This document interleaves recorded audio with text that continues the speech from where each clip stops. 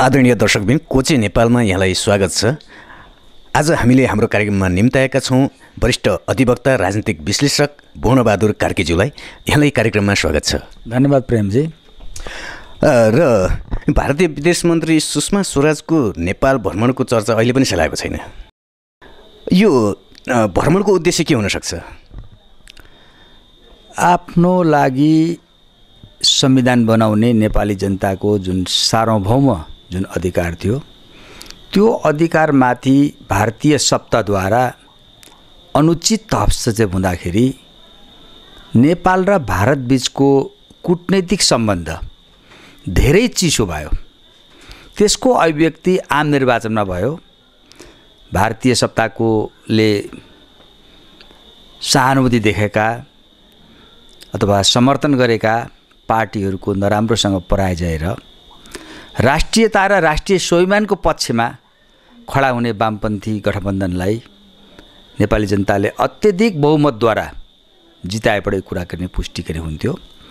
त्यसैले यो जुन नेपाल भारत सम्बन्ध जुन बिग्रिँदो स्थिति छ त्यो विषयलाई अरू बिग्रिन नदिनको लागि भारतीय सत्ताले नयाँ सिराबाट पहल गर्नु सम्- सम्बन्ध सुधार्नको लागि सुषमा स्वराजको भ्रमण भएको त्यो उद्देश्य होला जस्तो मलाई लाग्छ। उहाँ चाहिँ बोलाइएकी पाहुना हुन् कि अथवा स्वतः स्फूर्त आफै नेपाल भ्रमण गरेकी हुन्? यो विषयमा सुषमा स्वराजलाई अहिले भइरहेको के भने काम चलाउ सरकारले बोलाएको होइन भन्ने कुरा विभिन्न कुराहरूबाट आइसकेको स्थिति छ। त्यस्तै गरेर अब अब बन्ने वामपन्थी सरकार त्यस अन्तर्गतका जो पार्टीहरूले बोलाएको भन्ने कुरो पनि त्यो अहिले स्पष्ट भएको छैन।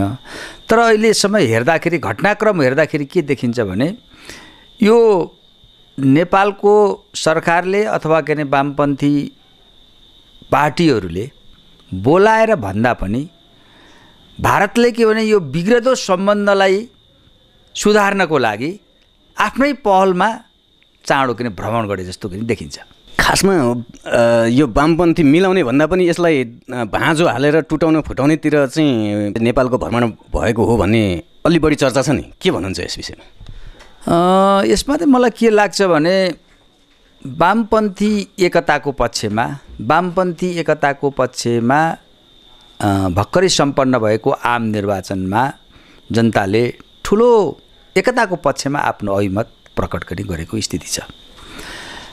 र त्यो अहिले वामपन्थी एकतालाई भाड्ने अथवा वामपन्थी सरकार के बन्न नदिने यदि के भारतले के गर्दाखेरि यो चिसो भएको सम्बन्ध जुन छ त्यो सम्बन्ध झन् के बिग्रेर जाने के अवस्थाहरू छ। यदि कुटनैतिक घटनाक्रमलाई र नेपालको वस्तुस्थितिलाई नेपाल भारत सम्बन्धको स्थितिलाई यदि के भनेदेखि गम्भीरतापूर्वक विश्लेषण गरेर निष्कर्ष निकाल्ने हो भने भारतले यो के भने वामपन्थी जनताको जनमतको विपरीत वामपन्थी गठबन्धनमा भाँजो हाल्ने वामपन्थी गठबन्धनको सरकार बन्न नदिने गरौला जस्तो मलाई लाग्दैन। त्यो यदि त्यो यस्तो किसिमको गरेको हो भने त अहिले भएको जो के नेपाल भारत सम्बन्ध बिग्रिएको थियो त्यो सुध्रिने होइन झन् के बिग्रेर जाने सक्ने स्थिति रहन्छ। अब यो भारतले चाहिँ यो वाम सरकार बन्न नदिनको लागि यो मधेसी लगाम लगाउन सक्ने सम्भावना पनि बढी छ। यस विषयमा चाहिँ के भन्नुहुन्छ कतिको सम्भावना छ? यो कुरा सत्य हो कि नेपालमा को राजनीतिमा लाई आफ्नो नियन्त्रणमा राख्नको लागि आफ्नो प्रभाव विस्तार गर्नको लागि भारतीय सत्ताले मधेसी नेता मधेसीवादी पार्टीहरूलाई के प्रयोग नगरेको होइन। त्यो मधेस आन्दोलनका सन्दर्भमा नि अभिव्यक्त भएको छ देखिएको छ। त्यस्तै गरेर नाकाबन्दीको सन्दर्भमा पनि देखिएको छ। तर त्यो भारतीय सत्ताको त्यो प्रयोग प्रति उत्पादक भयो। जसले गर्दाखेरि के हो भने भारत आम नेपाली जनताहरूमा भारतीय सत्ता नेपालको राष्ट्रियता राष्ट्रिय स्वाभिमानको कदर गर्दैन भन्ने किसिमको सन्देश के भनेदेखि गयो।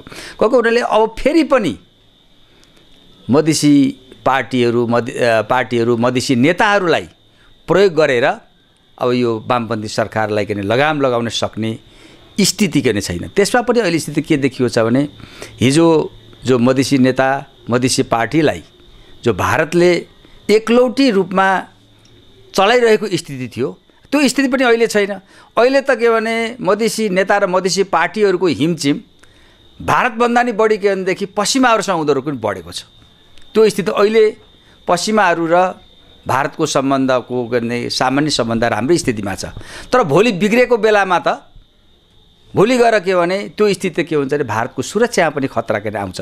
अब पनि के भनेदेखि मधेसी यो स्थितिमा मधेसी नेता पार्टीलाई के भने बोकाएर नेपालको सिङ्गो नेपालीमाथि प्रहार गर्नु भनेको भारतको लागि के भनेदेखि धेरै के भनेदेखि प्रतिउत्पादक हुन्छ नोक्सानदायी के भनेदेखि हुन्छ। अब त्योतिर नि अब भारतीय सत्ता लाग्छ जस्तो मलाई के भने लाग्दैन। तपाईँ यो वाम एकताको अभियन्ताका नाताले अब यो वाम सरकार नबन्ने अथवा वाम एकता पनि ढिला हुनुको कारण चाहिँ के त?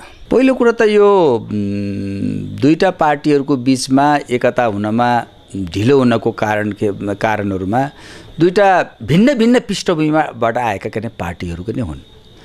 र त्यसको साथै के भने दुइटै पार्टीहरूमा महत्त्वाकाङ्क्षा व्यक्तिहरू पनि छन् जो के भने कम्युनिस्ट आन्दोलन राष्ट्र जनताको लागि भन्दा पनि पद प्रतिष्ठाको लागि पनि के भनेदेखि मरिमेट्ने उच्च तहमा नेतृत्वहरू पुगेका छन् त्यो पनि अर्को के भने फ्याक्टरको के नै हो। तर यी सबै हुँदाहुँदै पनि परिस्थितिले यसरी चेपेर लिएर आएको छ कि दुई पार्टीहरू एकता हुनुको त्यसको कुनै कुनै विकल्प छैन एकता किन हुनै पर्नेछ। यदि जसले यो एकतालाई भाड्ने काम गर्छ चाहे के भनेदेखि माओवादीका नेता हुन् चाहे एमालेका नेता हुन् जसले यसलाई अवरोध गर्ने गरे भन्ने जनतामा सन्देश जान्छ त्यसको राजनीतिक भविष्य भने सङ्कटमा पर्ने स्थिति छ। त्यो भएको हुनाले यो एकतामा ढिलो गर्नको लागि केही त बाह्य शक्तिहरू पनि किन खेलिरहेको स्थिति छ। तर उनीहरूको पनि के भने केही लाग्न सक्ने स्थिति पनि छैन। प्रचण्डले त सिधै तोकेरै भनेका छन् वाम सरकार भाँड्न र वाम एकता हुन नदिन देशी विदेशी शक्तिहरू लागि परेका छन् भनेर भाषण नै गरे के भन्नुहुन्छ?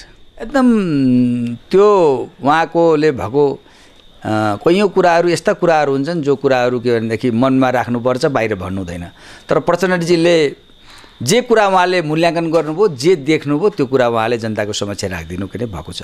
वास्तवमा अब अहिले यो एकताको लागि भाड्नको लागि विदेशी शक्तिहरूले प्रचण्डकै वरिपरिका शक्तिहरूलाई नि प्रयोग गर्न खोजिरहेछन्। ओलीजीको वरिपरिका शक्तिहरूलाई नि प्रयोग गर्न किन खोजिरहेका छन्। त्यो कुरा सत्य त छ।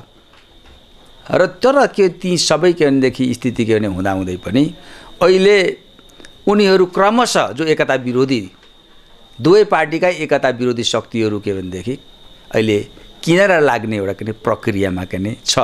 छ भएको हुनाले प्रचण्डजीले चिन्ता व्यक्त गर्नुभएको छ एकदम। त्यो के सही कुरा हो। तर अब त्यो उनीहरूले प्रयास गरे पनि त्यो के अरे सफल हुन सक्ने सम्भावना चाहिँ छैन। यो बिचमा हलो अड्केको तथ्य चाहिँ ठ्याक्कै भन्न मिल्दैन? अब हल हलै अड्किएको चाहिँ खास गरेर भन्ने हुँदाखेरि हलैहरूको त यो दुईवटा पार्टीहरूको शुभचिन्तक कार्यकर्ता नेता पनि एकताको के नै पक्षमा छन्। त्यो हलै अड्कियो कारण त के भने बाह्य शक्तिकै चलखेल हो। त्यो अझै पनि के दुई पार्टीले एकता गर्नको लागि बाह्य शक्तिको चलखेललाई नियन्त्रण गर्न सक्नुपर्छ।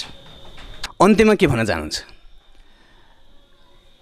अब देश अहिले एउटा विकट समस्याहरूबाट समस्याबाट के भने ग्रसित भएको जो मुलुक छ समस्या समाधानको बाटोतर्फ अहिले के भने मुलुक के भने अग्रसर के भने भइरहेको स्थिति छ। र त्यो चाहिँ अहिले बन्ने वामपन्थीहरूको के भने सरकारले यसलाई के भने एउटा के भने मूर्त रूप दिने पर्याप्त सम्भावनाहरू पनि छन्। भएको हुनाले यसको सदुपयोग गर्नुपर्छ। अब देशको के भनेदेखि राजनीतिक स्थिरतालाई अगाडि गर्ने बढाउनुपर्छ।